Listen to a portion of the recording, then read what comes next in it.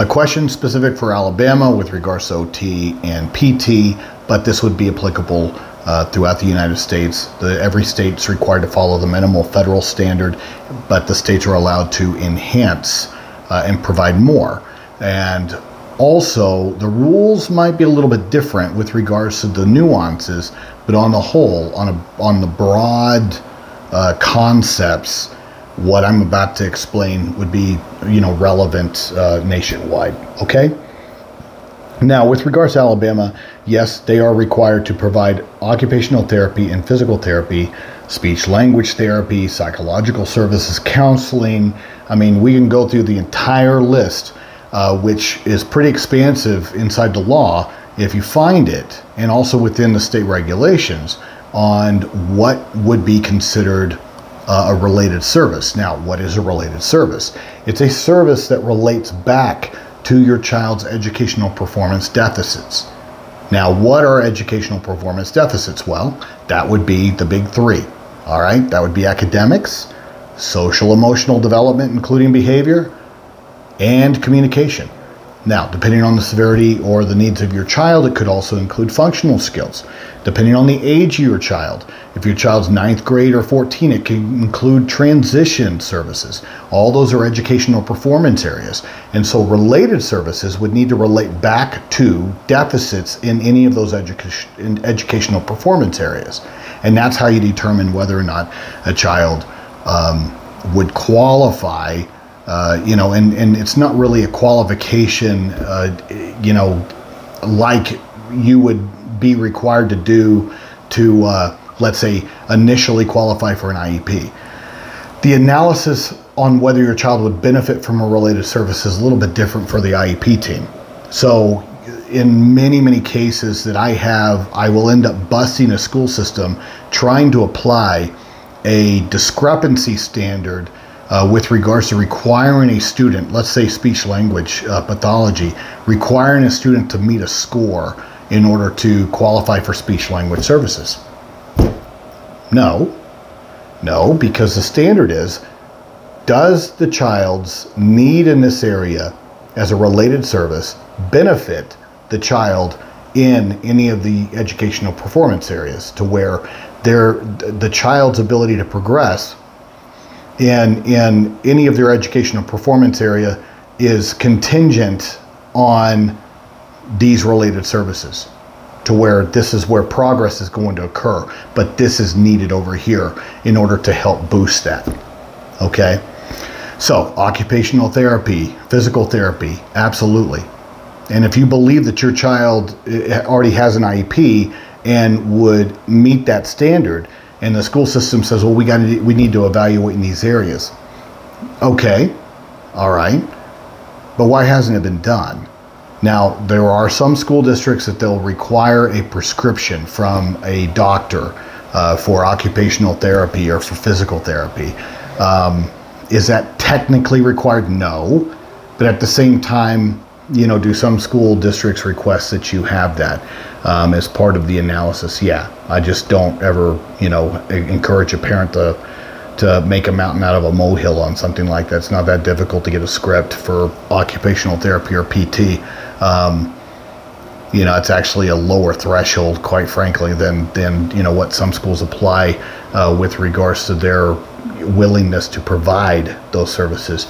Uh, you said that your child's in a um, pre-K or K3, and so that would tell me that your child's three years old, which means that your child just became eligible for an IEP. And that happens, early intervention is, is birth to three years old. Okay? That's early intervention.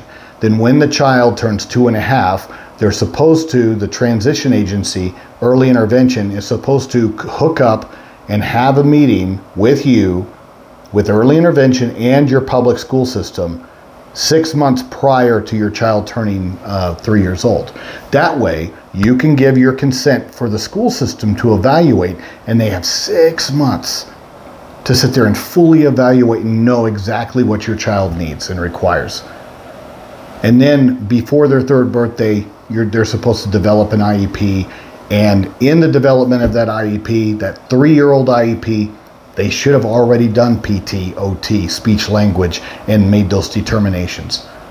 There is no get to know you clause in, in the law. And so many schools are sitting there going, well, you know, we'll, we'll build the IEP and then we'll get to know the child and we'll, we'll do all that stuff later. Mm-mm. No, that's not how that works. And what a school does is they're running the risk of a parent challenging your bad decisions. And then the parent would be entitled to remedial services for those things that the school system should have provided. The decision should have been made prior to the third birthday Okay, that's your specific situation. Now, that's true year to year. All right. Anytime an IEP is developed, then then the IEP team, including the parent, is putting their stamp of approval, saying this will provide a free and appropriate public education, and that would include related services like occupational therapy and physical therapy. You can't kick the can and say, well, we'll evaluate later. Special education is a year-round commitment. 12 months, including Christmas break, including summers.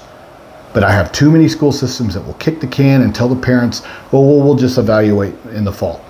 No, the school system is running the risk of a due process complaint, a state complaint, a request for mediation, or a complaint with the Office of Civil Rights every time they do stuff like that.